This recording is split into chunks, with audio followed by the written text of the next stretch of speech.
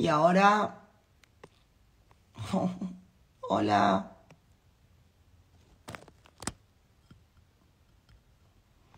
Hola, hola, hola. Hola. Hola.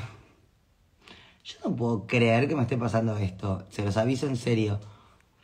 ¿Cuál es la quinta o sexta vez que ya empezamos el vivo? Hola. Hola a todos. Amo. Bien. Ahí va. Bien. Ya no sé qué hacer, chicos. O sea, acepté a Florencia Camaraus. A ver. Yo no puedo creer lo que me está Ahí pasando. estamos. ¡Vamos! Bien, te veía que, que se te había cortado y que Vale se había, desapareció Vale. Desapareció Vale, pero vos también Eh, medio... yo te veo perfecta y me veo también a mí. Debe ser alguna cuestión de internet que están dando bastante, bastante lerda, pero bueno, estaba escuchándolas atentamente a las dos desde que iniciaron la charla, así que me salía de la vaina por poder quizás también expresar un poquitito, porque las venía escuchando atentamente, eh, tus preguntas, tus reflexiones y las de Valeria. Todo.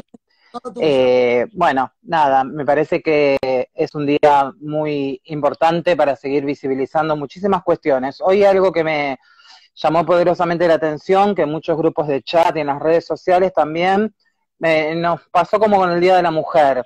Eh, muchos mensajes de feliz día, feliz día, feliz día, y en realidad no hay nada que celebrar ni que festejar. En realidad es un día para conmemorar y para seguir visibilizando eh, todas las desigualdades estructurales que atravesamos las personas travestis y trans, eh, no solamente a nivel local, sino a nivel internacional. Es un día de lucha, es un día para seguir, por supuesto, que eh, también visibilizamos lo que hemos logrado conquistar eh, organizadamente como movimiento travesti trans, ¿no? La ley de cupo laboral travesti trans, la ley de identidad de género, pero también es un día para visibilizar todo lo que aún sigue faltando, porque la realidad es que si bien tenemos una ley de cupo laboral travesti trans, que nuestra compañera asesinada, víctima de travesticidio, Diana Zacayán, logró conquistar justamente un mes antes de que la asesinaran en el año 2015, recién desde el año pasado está sancionada. También tenemos una, eh, una ley de identidad de género que va a cumplir ahora el 12 de mayo 10 años, pero que no se cumple en su totalidad. Y uno de los puntos eh, que hay que hacer hincapié con respecto a la ley de identidad de género tiene que ver con el artículo 11 que habla del acceso integral a la salud. Y ahí escuchaba lo de Granata, ¿no? Con este discurso que no hay que subestimar y dejar pasar porque nosotros hacemos un análisis, y esto viene en línea internacional con las avanzadas de la derecha, son discursos peligrosos porque son personas que tienen poder en lugares legislativos, ¿no? Están en lugares muy importantes y que van calando en la sociedad con esto de, bueno, ¿por qué a las travestis o a las personas trans tenemos que pagarle la hormonización? Yo me pregunto entonces también por qué a todas las demás personas, porque las travestis somos parte de esta sociedad, pagamos el impuesto más injusto que hay, que es el IVA. Cada vez que nosotras vamos a comprar un caramelo, un chicle, un kilo de pan, también estamos aportando y en muchos otros ámbitos. Y nosotras también sostenemos el sistema de salud pública que utilizamos todas las personas, seamos trans o no lo seamos. Entonces, estos discursos son muy peligrosos porque generan confusión en la sociedad y sobre todo siguen generando mucho odio, eh, mucha eh, ira hacia nuestras existencias, ¿verdad? La desvaloriz desvalorización, la deshumanización, la poca importancia que hay también eh, eh, hacia nuestras vidas. Seguimos eh, hace más de un año preguntando dónde está Tehuel. No vemos que los medios masivos de comunicación eh, estén hablando todo el tiempo de dónde está este pibe trans que fue desaparecido en democracia. ¿Por qué todavía, a pesar de leyes que logramos conquistar, y esto ha salido en el último informe de la Comisión Interamericana de Derechos Humanos, el 90% de las feminidades travestis y trans subsistimos de la prostitución. Y yo hablo de prostitución forzosa, yo soy una sobreviviente, sobreviviente de prostitución, y hablo de prostitución forzosa porque estamos hablando de que no hay oportunidades, sino un 90% de una población no subsiste de la prostitución. No tenemos, como decía mi compañera y amiga Luana Berkins, un abanico de oportunidad donde queremos decir, a ver qué quiero ser, me levanto, Luana decía, eh, no es que yo un día estaba tirada en el sillón mullido de mi casa y dije, a ver qué quiero ser, quiero ser puta, abogada, enfermera, doctora. No, ya somos situadas en un lugar, en el caso de las travestis. Todo el mundo sabe dónde estamos en la zona roja, en los bosques, pero no estamos atendiendo, Ernestina, cuando vas a comprar el pan, cuando vas a comprar ropa, cuando llevas a los pibes al colegio, la maestra no es la traba. Estamos completamente invisibilizadas y siempre en los márgenes de la sociedad. Y además, algo que, poca gente puede entender, que es levantarte en la casa, ponele que tengas un entorno que te contiene, ¿no? Vos decís, bueno, me despierto en mi casa, soy trans, genial, me levanto, voy al kiosco. En, esos, en esas cinco cuadras que vas al kiosco, en esas siete cuadras que vas al kiosco, te puede pasar cualquier cosa solamente por ser una persona diferente o minoría o lo que sea, como lo quieras definir. Digo, nadie sabe lo que es transitar esa Exacto, exacto. Siendo trans. Tal cual. Nosotros hablamos de que cada vez que cruzamos el portal de nuestra puerta es un acto de supervivencia, porque no sabemos si nos va a parar la policía y nos va a matar a golpes, si un tipo va a venir y nos va a pegar, si nos van a matar.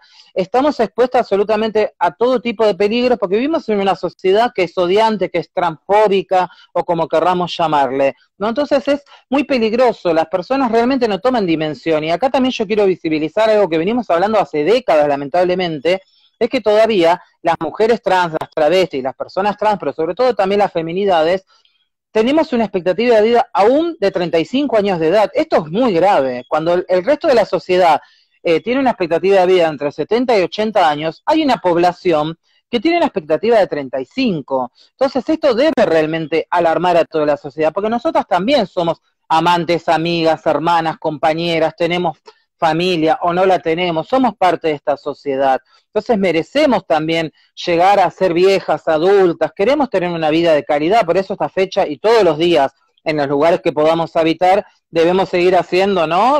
Eh, mucha fuerza eh, y visibilizando todo esto. Porque esto no se habla en las escuelas, Ernestina, porque no se habla en todos lados, porque en la ley de educación sexual integral, porque no somos parte de la historia, si agarras un manual o lo que sea, las personas travestis y trans parece que nunca existimos en la historia, ¿no? De nuestro país ni en ningún lado, porque nuestras voces no están en esos libros también, en un manual de la escuela, donde vayamos a la niñez. Ustedes hablaban de las niñeces anteriormente, que es un tema también muy importante para seguir visibilizando. Vos imaginate esta situación, yo, una niña trans, que en la educación sexual integral me siguen mostrando dos filiminas de dos cuerpos supuestamente biológicos, anatómicos y normales. Un nene con un pene, una nena con una vulva. Si yo soy una persona trans, travesti, y a mí me están enseñando desde la niñez y yo ahí no me veo reflejada y digo, yo no siento eso, yo no me veo así, ya desde la niñez me están diciendo, vos sos lo anormal, vos sos lo que está mal, vos no existís, porque todo el resto de tus compañeros sí están bien, entonces vos no encajás. Mirá lo que te voy a decir. Hace más o menos 20 años, lloro mientras lo digo, la primera niña trans que yo entrevisté, la tuve que entrevistar de espaldas. Como si fuera un testigo encubierto, un delincuente. Me acuerdo que tuve que entrevistar de espaldas a la cámara. La primera niña trans que yo entrevisté. ¿Por qué? Porque iba a sufrir bullying, le iban a golpear, eh, su familia iba a rechazar, eh, de espaldas. Exacto. Hoy, cuando hablamos de visibilidad, siento un enorme orgullo, porque me parece que justamente la palabra es visibilidad. Esto está, esto existe, solo hay que verlo. Exacto. tienen que vernos y tienen que hacernos parte también, no solamente de la agenda política, sino de la agenda emocional de toda la sociedad. Necesitamos que nuestras familias nos abracen, necesitamos que nuestras niñeces sean abrazadas, contenidas por la familia, por la escuela, por todas las instituciones, que todavía no tengamos que seguir hablando, lamentablemente, de que las niñas travestis y trans somos arrojadas de nuestros hogares entre los 12 y 13 años de edad, y esto es estadístico, ¿no? Eh, hay un informe que se llama La Revolución de las Mariposas, que es del Ministerio Público de la Defensa. ¿Sabes lo que dice Ernestina? Que el, 80, el 78% de las travestis y trans ingresan al mundo de la prostitución entre los 11 y 18 años de edad. Niñas, Somos niñas que terminamos en una esquina porque hay una familia que no contuvo, por los motivos que sean, por ignorancia, por no poder, por un montón de otras cuestiones, pero también eh, somos desamparadas por todo el resto de la sociedad. Nadie se alarma cuando ve una nena, porque la vemos, yo laburo en la boca y yo paso por la Plaza Constitución y veo las pibitas que están lamentablemente paqueadas, tiradas en una esquina o subiendo a un auto y tienen 14, 15 años para poder comer o para seguir consumiendo ¿no? Eh, cualquier tipo de estupefaciente. Eso pasa a la vista de plena luz del día de mucha parte de la sociedad. Te pregunto, ¿no? También hay familias que acogen, también hay familias que quieren, también aman. ¿Cuál es tu historia? ¿Cuál fue tu historia puntualmente, no? Digo, hoy seguramente puede ser durísimo seguramente puede ser amorosísima. A mí me gustaría mostrar también esa parte que es amorosa, que acoge, que quiere, eh, aún sin saber, ¿no? Porque sin saber, sin entender, ama. Y mi historia, yo tuve una historia como muchas de mis compañeras, yo la verdad que tengo una muy buena relación, vivo pegada a la casa de mi madre, eh, mi madre nunca tuvo ningún tipo de problemas ni con mi identidad, ni con nada de esas cuestiones. Eh, tengo una historia, yo lo he escrito en mi libro, tengo un libro publicado que está agotado, pero bueno, tengo un libro donde cuento un poco de la historia, eh, lo que fue para mí salir al mundo desde niña. En realidad yo me definía como mariquita cuando era chica, ¿no? Pero nunca tuve problema en mi familia. Yo vengo de un contexto de una familia también empobrecida, de la clase trabajadora, donde mi madre fue, en este caso, que esa frase no, me, no, no la usamos porque son niñas, no son madres, de niña me parió, antes de cumplir los 15 años me tuvo a mí, mi vieja hoy tiene cincuenta y pico, yo tengo 41 años, entonces, como pudo, cuando eh, prácticamente la obligaban a abortar, se escapó, terminó en un reformatorio y me tuvo, me abrazó y me contuvo mientras pudo. En ese mismo momento, eh, mi historia familiar empieza con mi madre con un montón de problemas de consumo problemático durante casi veintipico de años, entonces a mí me cría mi abuela, con muchísimo amor, pero una mujer también, ¿no? Que había venido de Santiago del Estero, y que por su historia de vida también atravesada por la violencia, que esto yo me lo hace ver el feminismo muchos años después, me doy cuenta de todo lo que han atravesado las mujeres de mi familia, era una mujer que no demostraba el afecto como una espera, ¿no? Un abrazo, una caricia, todo lo demás, sino que todo el tiempo era, obviamente a mí se me notaba mi mariconería de chiquita, y, y, me decía, no hables así, no te muevas así, no muevas la muñequita, o mi abuela también me sucedió que trabajó en el hospital Muñiz toda su vida en la sala de homosexuales, entonces para ella era un pánico terrible y me lo inculcó a mí también, ¿no? Travesti era sinónimo de muerte, travesti era sinónimo de sida, ¿no? Entonces también a su manera me protegía, ¿no? Tal cual, tal cual.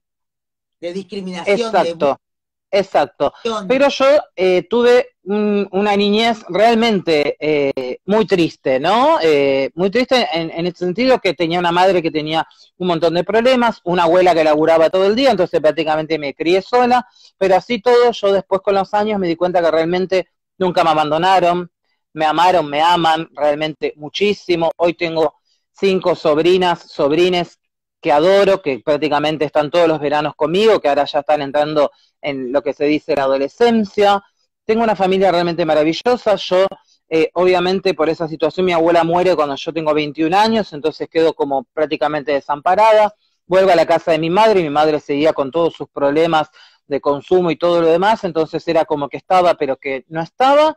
Entonces yo también, eh, de chica, a los 15, eh, sí, 14, 15 años, empiezo a faltar a la escuela, conozco compañeras travestis donde el mundo solamente era la prostitución, entonces también de alguna manera para yo entrar en ese mundo tenía que entrar en ese mundo completamente desamparada, imagínate vos una adolescente sola que no conocía nada de la vida y que quería amigas y todo lo demás, empiezo a pararme en una esquina, subir a un auto, veo que los varones, estos eh, señores adultos, porque la primera vez que subí a un auto yo tenía 14 años y subí con un tipo de 60 y pico, pero con la plata que me dio yo me compré un jean, un pantalón, entonces también empiezo a ver que de esa manera podía conseguir dinero. No tenía eh, eh, eh, nadie que me pueda contener de otra manera, ¿no? pero bueno, esa fue más o menos un poco mi historia de vida que después se transformó, por suerte, ¿no? Mi madre pudo salir de toda esa situación, hoy está muy bien, esto tiene que ver también con el nacimiento de mis sobrinas, yo tengo mi hermano, somos dos,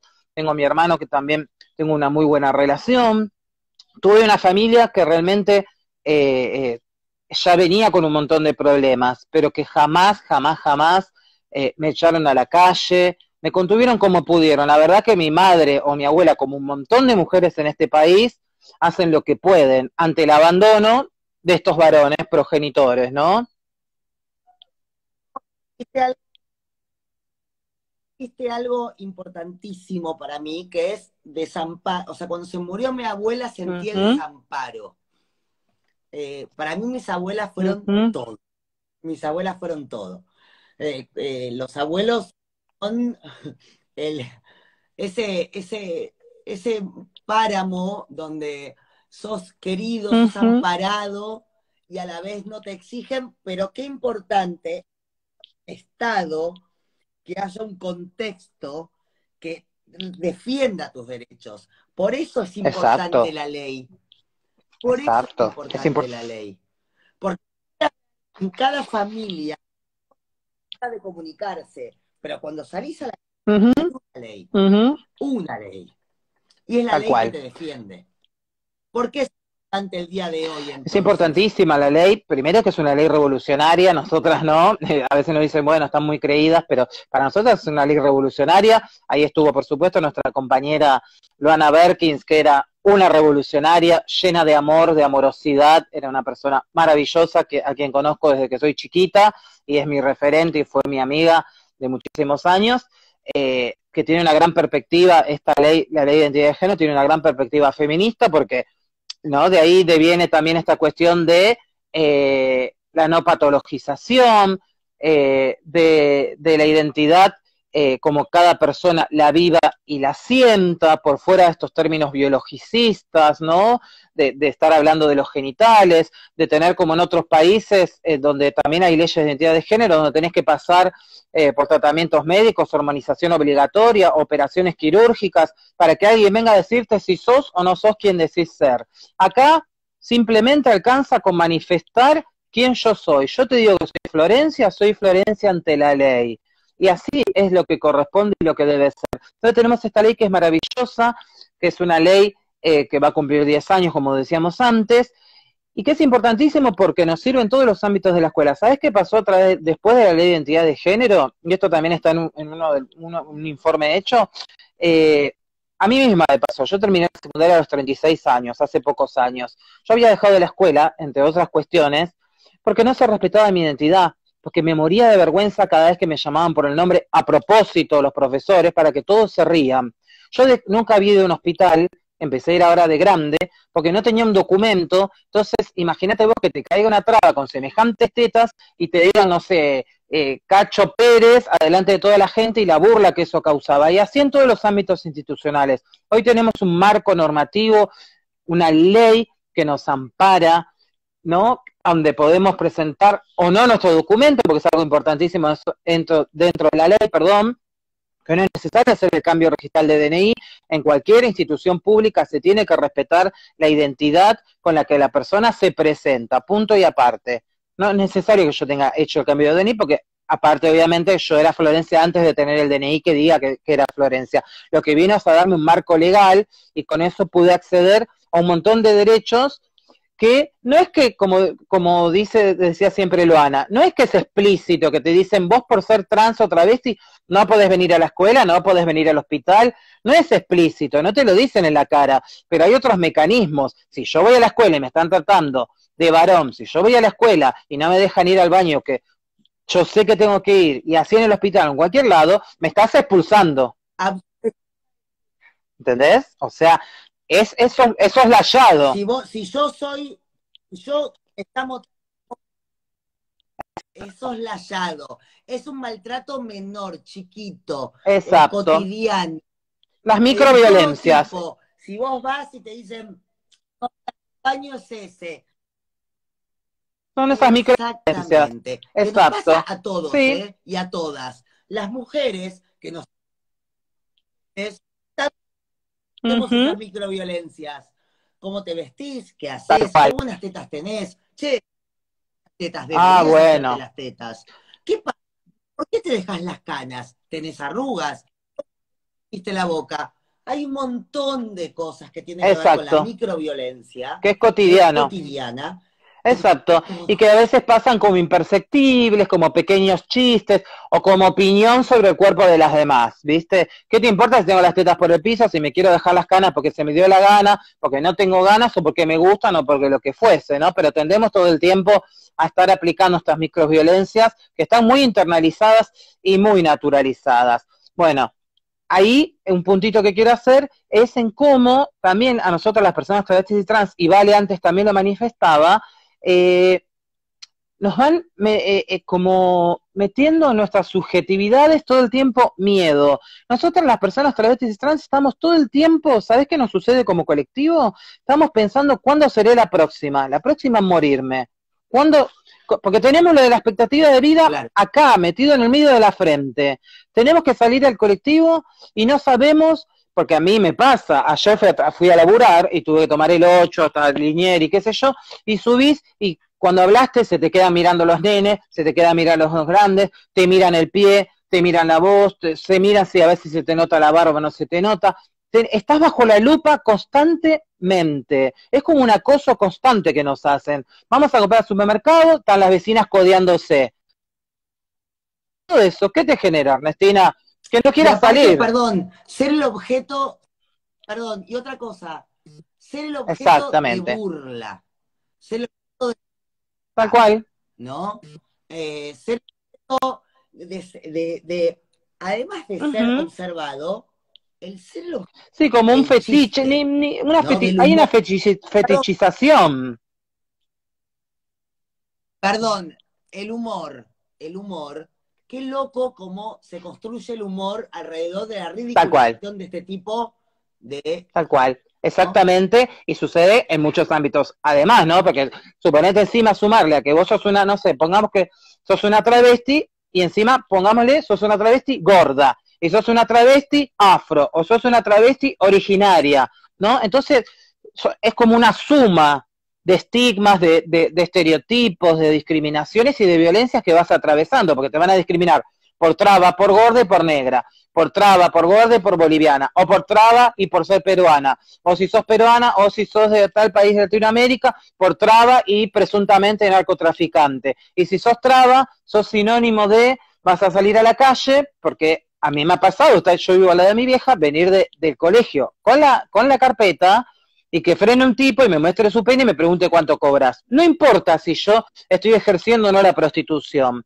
Ellos ya nos ven a nosotras y piensan que somos un agujero, punto. No le importa más nada porque las travestis somos sinónimo todavía, aún hoy, hay que seguir rompiendo con eso, aún hoy seguimos siendo sinónimo de prostitución. Bueno, como decía Vale, se hacen travestis para la prostitución. No, no hacemos travestis ni trans para la prostitución somos travestis y trans porque así lo sentimos, porque podemos sentirlo desde que nacemos, porque vos le preguntabas a Valeria, y eso es algo también como muy personal de cada una, porque hay tantas travestis y trans como personas sabemos, porque algunas nos construimos más grandes, nunca hay un tiempo exacto, hay niñeces trans, hay otras que nos damos cuenta, lo manifestamos en la adolescencia, a los 30, a los 70, no hay una edad ni un momento exacto. Sí hay, una, hay muchas particularidades, como en Latinoamérica, que la mayoría de las personas travestis y trans asumimos nuestra identidad entre los 12 y 13 años de edad. Pero después eh, somos diversas, como todas las personas. O sea, no hay un tiempo. Y a veces vemos en los medios de comunicación, ¿no? Se hacen travestis para, bueno, esto de la prostitución o se hacen travestis para, no sé, para jubilarse antes. Hemos escuchado cada aberración, quizás por un caso que puede ser una cuestión particular, nos generalizan y todas las personas travestis y trans entramos en la misma bolsa. Y no, y el mundo es tan diverso, las personas somos maravillosamente diversas. Y eso es lo, bueno que hay, ¿no? Y no hay nada más lindo que la diversidad. Ahora, te hago una que tiene que ver con el día de hoy, eh, para mensaje a todos los que están mirando eh, y escuchando y que seguramente mañana lo van a ver, porque este vivo queda guardado y seguramente el que quiera verlo lo va a ver. ¿Qué es? ¿Qué es lo que vos querés hoy decir? Aquel que no entiende, que no ve, que cree que esto eh, transita un camino eh, que, no, no comprende? Yo le diría que primero y principal, escuche. O primero y principal, eh, que se acerquen hacia nosotras, que lean sobre nosotras, eh, que no nos miren con miedo, con desconfianza, ¿no? Eh, que realmente nos empiecen a prestar atención y a darse cuenta que lo único que puede llegar a ser diferente es nuestra identidad de género y después somos personas que podemos ser maravillosas, miserables, ser travesti o trans, no quiere decir que somos todas revolucionarias ni maravillosas, somos personas, punto, de diferentes eh, eh, colores, de diferentes ideologías políticas, y como cualquier persona. Entonces, que empiecen a abrir la cabeza, a, tener empatía, a preguntarse, a informarse. Para mí, eh, te agradezco mucho este espacio. Es muy importante que se informen. Muchas veces cuando nosotros decimos lo de la expectativa de vida, la gente queda asombrada porque nunca lo escuchó. Bueno, ahora que todo el mundo googleen, la palabra está googleen, googleen, book, pongan Luana Berkins en YouTube en todos lados, Diana Zakayam, eh, y escúchennos y dense en cuenta que lo que venimos pidiendo hace mucho tiempo también es un abrazo, es contención, es cariño, es respeto, ¿no? Eh, que eso es lo que necesitamos todas las personas, pero sobre todo la comunidad travesti trans, porque eh, nos siguen deshumanizando, nos siguen cosificando, nos siguen tomando como objetos y somos personas que queremos vivir, que queremos ser felices, que queremos transitar por la calle también tranquilas, que queremos, ¿no? Esto es otro tema para otra charla, tendría que ser mucho más larga, que queremos tener nuestras relaciones sexoafectivas a la luz del sol, a la luz del día, no en la clandestinidad, que queremos que los varones salgan con nosotras de la mano por la calle y no que nuestras relaciones pasen entre cuatro paredes encerradas en nuestra casa o en un albergue transitorio. Tenemos derecho a ser amadas.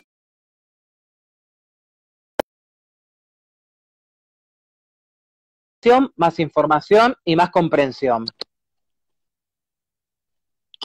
Perdón, ¿te pasó alguna vez que alguien con el que tenías una relación afectiva no te llevara Sí, por supuesto, me ha pasado. Ahora yo estoy, te cuento, hace 20 años casada con un ex veterano de Malvinas, que el sábado vamos a estar ahí conmemorando. Eh, estoy casada hace 6, pero estoy hace 20 años con, mi compañero. Eh, pero antes había tenido otra relación y fue como en los términos que nos pasa la mayoría de nosotras las travestis y trans. Eh, en la clandestinidad, salir de noche, eh, prácticamente, prácticamente agachada en el auto, tipo agachate un poco más, sin conocer a su familia, sin eh, si íbamos a comer, suponete, vamos a comer, uy, qué bueno, qué copado, yo estoy la ilusión, el noviazgo, viste que una caliente cuando estás enamorada, encima de 18, 19 años, decía, ay, regia, ella se ponía los tacos, decía, uy, lo que soy. El señor bajaba a comprar un sándwich y comerlo arriba del auto. Eh, yo me lo tomo a risa, pero realmente es, es terrible. Terrible para una y terrible también para esos varones que están construidos en esta sociedad patriarcal y machista que no se animan, porque te recabe, loco, estar con la traba, pero no te animás por el qué dirán, porque van a decir que sos puto, porque tu familia te, te, van a sacar cagando, por un montón de otras cuestiones. Entonces, vivís toda tu vida reprimido y después sabés lo que pasa con muchos de estos varones. Consumen a las trabas en prostitución, convirtiéndonos en un objeto, en una mercancía, porque no tienen huevo o no se animan realmente a decir, ¿sabes qué? Si yo soy un varón y me gustan las mujeres trans y me gustan la travesti. Punto. Perfecto. Pero entonces cuando vos interpelás, cuando interpelamos, vos, yo, estamos en medio, cuando interpelamos, ¿a quién interpelamos? ¿Quién tiene que de verdad bajar esa llave que diga, uy, eso... ¿Son esos hombres que eh. de la mano?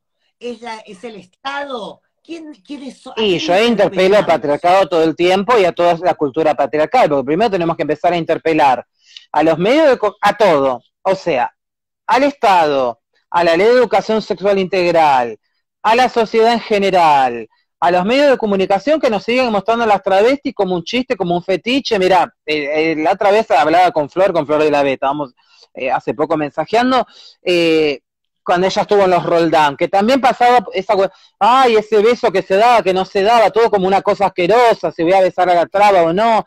Se sigue reproduciendo todavía en todos lados esta cuestión de tomarnos a las travestis como el chiste, lo, lo burlesco. Bueno, y eso parece tonto, diríamos, Pero ¿sabes cómo cala hondamente en la sociedad? Porque los pibes, claro, los varones están del otro lado y bueno, a mí también se me van a caer de la risa. Entonces, el trabajo es, es un trabajo, te digo que es eterno, es muy largo porque es derribar eh, esta masculinidad eh, eh, tan patriarcal que todavía persiste, donde los varones realmente no se animan. Entonces tenemos que interpelar, tenemos que ir como por, es como un trabajito de hormiga, ¿viste? Tenés que ir por todos lados. Bueno, a ver, ley de educación sexual integral. Tenemos que empezar a hablar, se habla de la familia. Hay un montón de tipos de familias. ¿Por qué las travestis no podemos conformar una familia? ¿Por qué cuando hablamos de, Flor eh, todo el tiempo se están burlando eh, o, chistes que no los voy a repetir, espantosos que se han hecho sobre eh, la paternidad, la maternidad? ¿Qué carajo te importa? Ni hablar que cuando se invita a una travesti a, un, a una entrevista en un medio de comunicación es para ridiculizarla, para burlarse. Tal cual. Ni hablar de eso. También me interesa entender desde dónde podemos eh, como sacar esa raíz, ¿no? Me interesa muchísimo, que para mí es un trabajo, eh, a ver, yo pienso, bueno, madre de un varón, digo, empiezo a trabajar sobre ese varón. Ahora, en el medio, la tele, las redes, esto, lo otro, los chistes. Hoy me tocó, en el día de la visibilidad trans, me tocó hablar con tres amigos que son de verdad, decirle, ¿en serio estás publicando ah, este chiste? O sea, ¿en serio esto? Y, y, perdoname, perdoname, perdoname. De verdad, es muy, es, es muy efectiva la maldad en ese sentido. Digo, va por abajo. Es una red que está muy, eh, muy desde abajo eh, eh, transformando el día a día de todos sí, Sí, de verdad. Sí. Me sorprende. Es un, trabajo enorme. Imagínate lo desgastante que es para quienes militamos, somos activistas y todo lo demás constantemente estar insistiendo sobre estas cuestiones, porque lo hacemos en cada lugar que habitamos, te lo puedo asegurar. Yo voy en el colectivo hablando y salgo con este tema para que me escuche la gente que está en el colectivo y voy a charlas en las escuelas y voy al trabajo y hablo con mis compañeras y hablo con mis compañeros y es constante, constante, constante y se nos va la vida también y a ver lo desgastante que es, porque eh, es estar todo el tiempo, eh, eh, porque es estar pensando también en las próximas generaciones, en las niñeces que vienen, es también pensar en nosotras, es un trabajo incesante, bueno, como es el trabajo de muchas de nosotras eh, feministas y transfeministas que seguimos luchando día a día para ir derribando todas estas cuestiones. Realmente, porque no es que hay una solución, yo creo que la solución eh, tiene que ver, eh, para mí, la herramienta obviamente más poderosa es la educación y tiene que ver con la educación, siempre con la educación, ¿no? Por eso para mí este tema, y todos estos temas son importantes abordarlos siempre en la escuela, pero en casa también, porque es como vos decís, o al revés, vos decías en casa y después sale al mundo y te inyectan toda esta mierda, hasta en un cartel en la calle. Bueno, en la escuela es lo mismo, porque vos en la escuela te pueden dar... Le... Microviolencias, es todo Exacto. mínimo te están enseñando irte del, del, del, perdón. de quien sea diferente depende... Hablo Tal cual. De que es gordo, de la mujer todo el tiempo te están enseñando tal cual, del otro. Tal cual, es constante. Lo, no sé, te puedo dar un ejemplo. Abrís un grupo de WhatsApp y los stickers son todos súper estigmatizantes, una piba que le faltan los dientes, un pibe con un cartón de tetra de vino, o sea, es constante. Una travesti o te pone los cosos eh, de Zulma Lobato como si fuera un chiste. La gente todavía se piensa que esas cosas y bueno, hay gente que le causa gracia. A mí la verdad que me hierve la sangre, porque digo, loco, ¿no te das cuenta que estoy yo, que soy una travesti también, y que esta estupidez que estás diciendo a mí me lastima y me hiere y a cualquier otra compañera, y no solamente porque sea traba, a cualquier otra persona que tenga sensibilidad y que no tenga ganas de reírse de las personas también le va a molestar. Por eso te digo, es muy difícil, tener razón. Es un trabajo eh, cultural, por supuesto diario enorme, iba a decir pequeño, enorme. Yo para que la gente entienda un poco que esto no es un día cualquiera. Para nada. Damos algunas cifras que nos, nos hagan entender de qué estamos hablando. Damos algunas cifras. Aunque la gente crea que las cifras son simples números, las cifras dimensionan un poco lo que está pasando. Las cifras eh, son muy contundentes y no son simples números. Y la verdad que es muy importante porque todavía aún las cifras y todas las estadísticas las hemos logrado y las hemos hecho colectivamente de las organizaciones. Ahora tenemos un Ministerio de Mujeres que va tomando cartas sobre el asunto, pero necesitamos que sean datos oficiales también por parte del Estado, para que tenga también otro peso y otra contundencia, ¿no? Entonces es importantísimo seguir hablando. Tenemos que seguir hablando. El 90% de nosotras, como ya dijimos antes, subsiste de la prostitución, ¿no? tenemos que seguir hablando que tenemos una expectativa de vida de 35 años de edad. ¿Sabes cuántas de nosotras llega a los 60 años? Según uno de los últimos informes que había hecho Luana Berkins, eh, Cumbia, Copeteo y Lágrimas, el 1% de nosotras llega a los 60 años. Luana se murió con 56. Ella misma fue una víctima de esos informes que hacía. A Diana Zacayán la asesinaron de 13 puñaladas teniendo 39 años antes de cumplir los 40. Entonces, tenemos que hablar de que las niñeces travestis y trans, eh, a quienes se escuchen les recomiendo porque es en PDF gratuito, pueden bajar La Revolución de las Mariposas, que está en la página del Ministerio Público de la Defensa, eh, que es muy interesante, es un censo hecho sobre 500 personas travestis y trans, donde da cuenta todo con números y datos. El 80% de las eh, personas travestis y trans inician en la prostitución entre los 11 y 18 años de edad. El 70 y pico de ese 80% entre los 11 y 15 años de edad. Niñas, estamos hablando de niñas.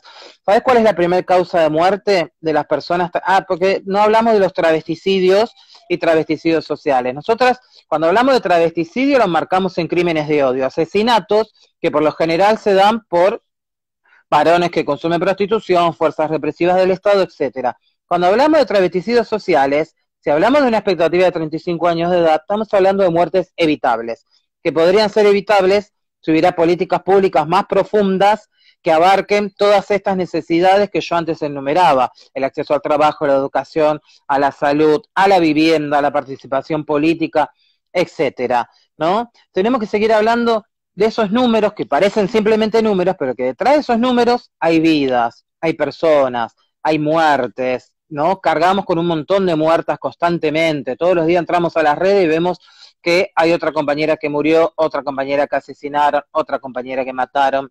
Entonces, esto es importantísimo seguir visibilizándolo, ¿no? Con números, en este caso. Hablar de la expectativa de vida, hablar de que la primera causa de muerte, ¿sabes cuál sigue siendo?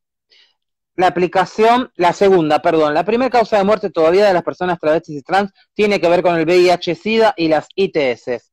La segunda causa de muerte tiene que ver con la aplicación de aceite industrial en nuestros cuerpos. Sí, tal cual. Tal cual. Y la segunda causa de muerte, aún hoy, que parece algo que decíamos en los 80 se hacía, no. Yo misma tengo silicona, aceite industrial en mi cola y hoy tengo problemas para caminar.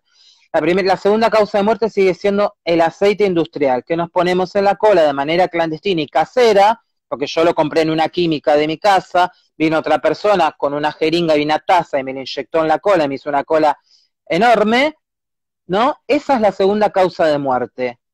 Que si realmente se cumpliera la ley de, de, de identidad de género, artículo 11 de la salud integral, tendríamos que nosotras poder ir a un hospital y que se nos opere como corresponde no incurrir a eso. ¿Sabes lo que pasa con el aceite industrial, Ernestina?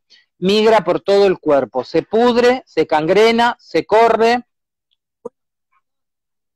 Enorme que tiene Exactamente. Que ver con, bueno. ni siquiera estamos hablando de algo marginal. Estamos hablando Exacto. de todos los programas de televisión. Exacto. Exacto. Ni siquiera es una cuestión no. en este punto. Exacto. Ok, entonces, uso médico no solo es una cuestión que tiene que ver con algo fuera de la ley, sino que había un tipo que era promocionado en programa de televisión y en canales de televisión. Exactamente.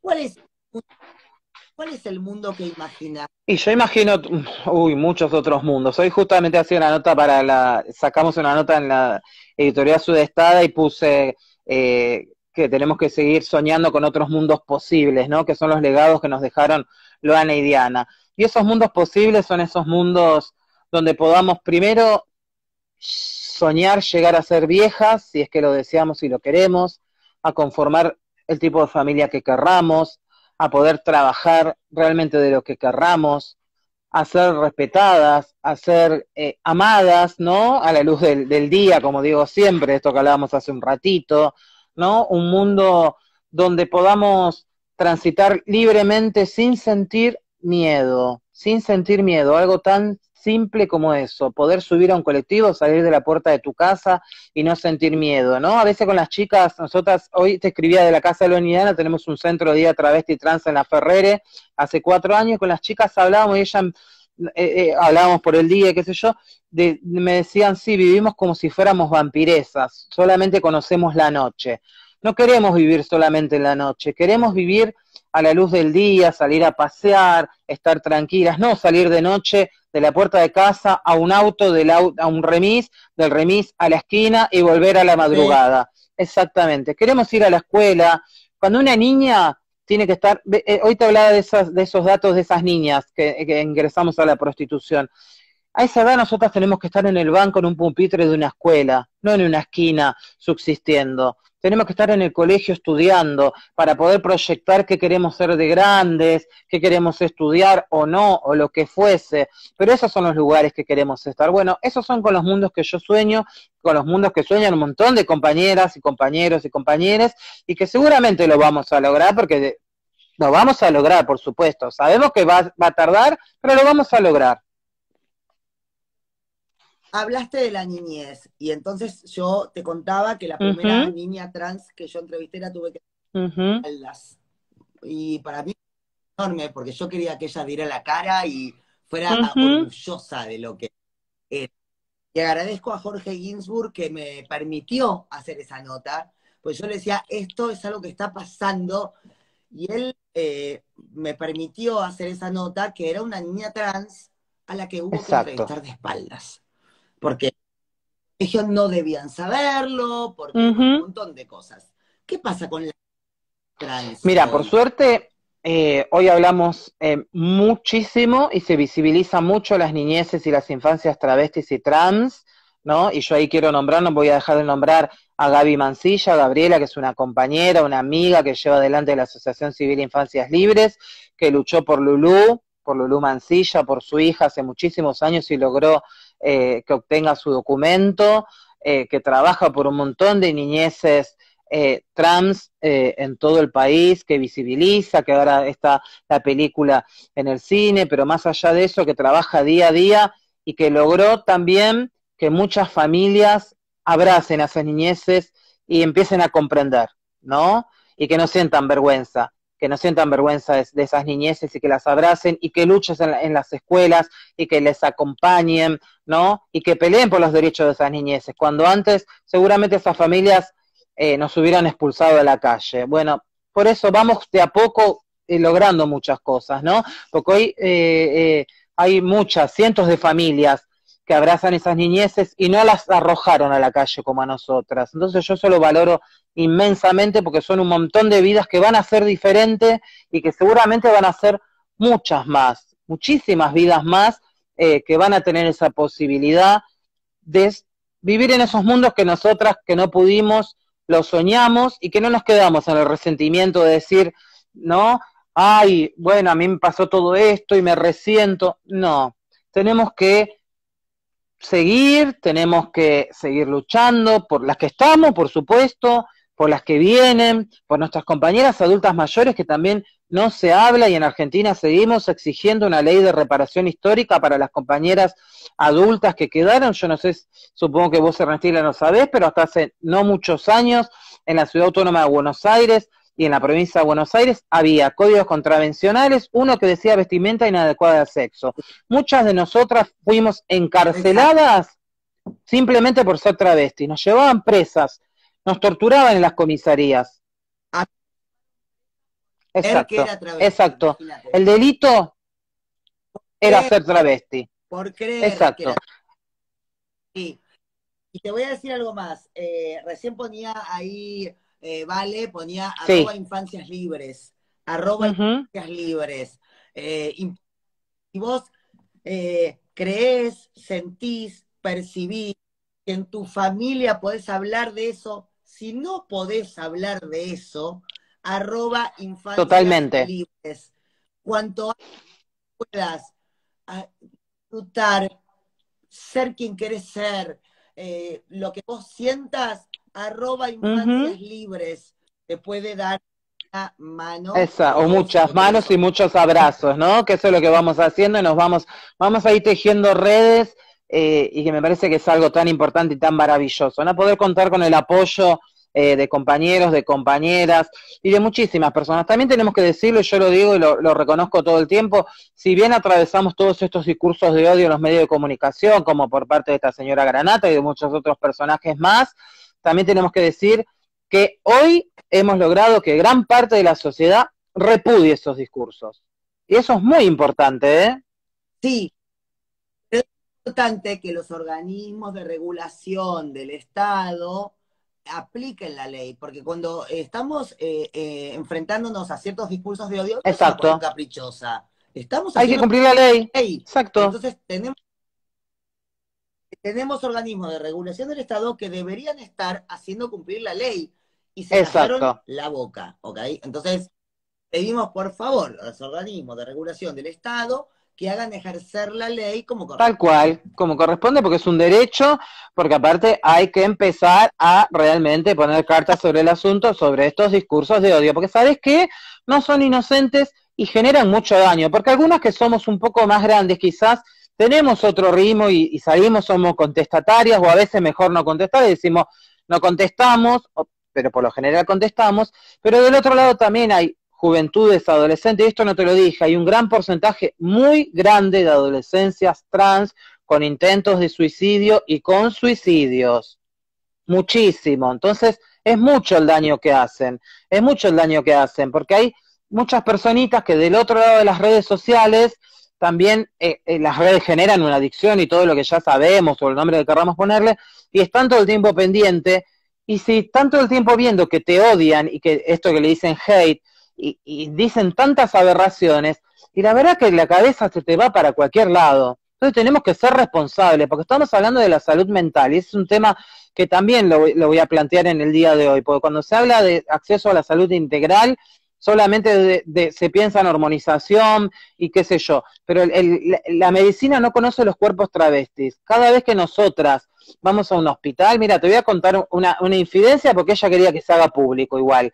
Cuando eh, eh, fuimos al hospital, que estuvimos esos días cuidando a Luana, una de las últimas veces que ella estaba en el hospital italiano acá en el Magro, lloraba del dolor y decía, por favor, no quiero más, porque la pincharon tantas veces en la cola donde tenía silicona porque no sabían cómo pincharla, que la estaban torturando y ya se estaba prácticamente yendo de este mundo.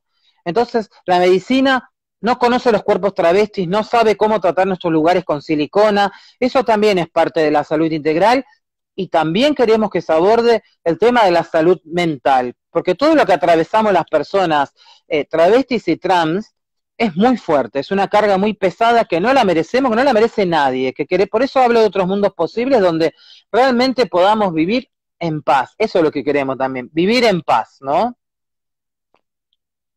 Absolutamente, y creo eso, creo que mientras menos neguemos, más nos comuniquemos, más hacer una palabra horrible. Claro. Ahí te escucho, ¿eh? Bueno, pero no es de la vida, que es básicamente estamos todos en este mismo mundo, seamos como seamos, pensemos lo que pensemos, dejemos de este mundo en unos y otros. Estamos todos juntos.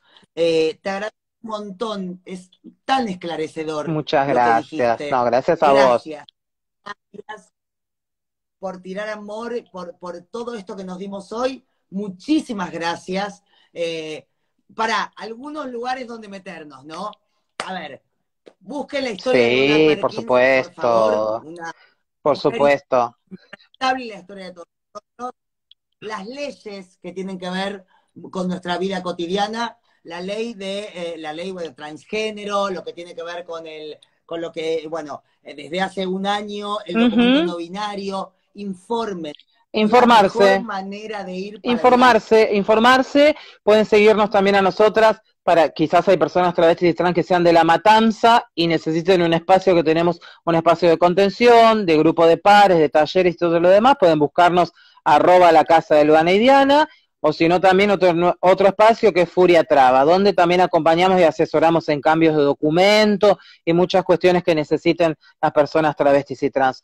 Informémonos, creemos redes y compartamos para que se difunda y seguramente hay un montón de personas que están necesitando esos espacios. Absolutamente. Arroba soy nana soy también interesantísimo para un montón de cuestiones que tienen que ver con tu cuerpo, con cómo Las trucadoras, mi amor, trucadoras divinas. Las trucadoras, mi amor, de arroba soy Trucadísimas. soy. ¿eh? Las trucadoras divinas. todo. Muchísimas este, gracias, Ernestina. Gracias. Hasta luego. a ustedes. Gracias por defender lo que nos va a hacer bien en un futuro, a nosotros y a nuestros hijos. Gracias. Chao, chao.